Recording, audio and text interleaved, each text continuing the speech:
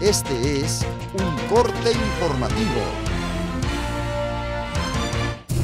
¿Qué tal? Muy buenas noches. Bienvenidos al corte informativo de 10 Noticias que trae para usted la información más importante que se genera en las últimas horas. Acompáñenos.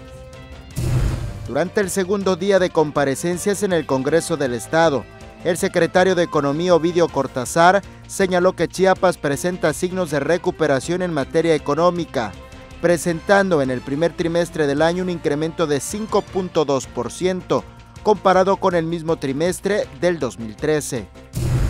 Al comparecer en el Poder Legislativo, el titular de la Consejería Jurídica y de Asistencia Legal, Vicente Pérez Cruz, destacó que cerca de 40.000 niñas y niños de zonas rurales e indígenas han sido beneficiados con la campaña del DIF estatal en conjunto con la UNICEF para el registro de nacimiento al asistir a la firma de convenio de igualdad entre hombres y mujeres que realiza el gobierno de Chiapas. La directora de Inmujeres, Lorena Cruz Sánchez, reconoció la voluntad política del gobernador Manuel Velasco en materia de derechos y justicia para las mujeres. Con la entrega del premio al mejor comité de vigilancia participativa para la conservación del jaguar, fueron reconocidos los esfuerzos de un grupo de personas habitantes de Pijijiapan, que se han convertido en vigilantes ambientales. Con el objetivo de fomentar la participación cultural y artística entre cineastas, académicos, intelectuales, estudiantes y público en general, del 16 al 24 de enero se realizará el primer Festival Internacional de Cine de San Cristóbal de las Casas. La UNICACH y la Universidad Autónoma Agraria Antonio Narro signaron un convenio con el propósito de colaborar en el desarrollo de la investigación científica y tecnológica e intercambio de publicaciones, documentos y material científico en general de ambas instituciones.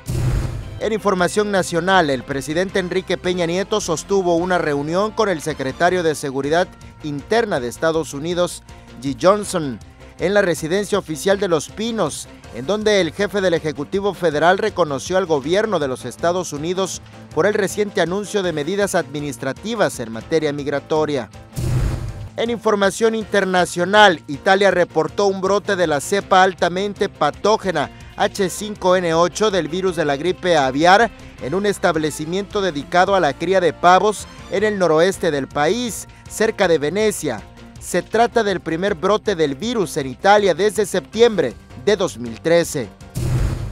En Cultura, la fiesta grande de Chiapa de Corso 2015 ya tiene lista la cartelera en donde diversos artistas y actividades culturales se harán presentes. Por primera vez este año el Consejo Ciudadano de la Fiesta Grande decidió que se desarrollará del 8 hasta el 24 de enero.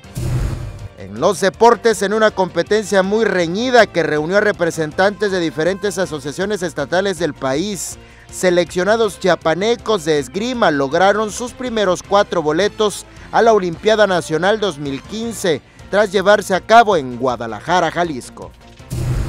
Gracias por la atención prestada a este espacio informativo. Lo invitamos para que nos sigan en las redes sociales.